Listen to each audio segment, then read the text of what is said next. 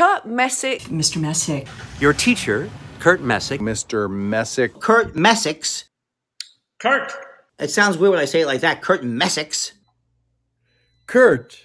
I hope that's how I'm pronouncing your last name right. Kurt Messick. I beamed in at Professor Messick's request. Uh, Mr. Messick uh, wanted me to stop by. And a wonderful teacher, like Kurt Messick. Kurt Messick. Your Professor Kurt Messick. Uh, Kurt Messick. Mr. Kurt Messick. Kurt Messick, a teacher. Mr. Messick. Your Professor Kurt Messick. Professor Kurt Messick? That is singular. Your wonderful teacher, Kurt Messick, or Mr. Messick. Hello, Kurt. Hey, students, listen, Kurt's a great guy.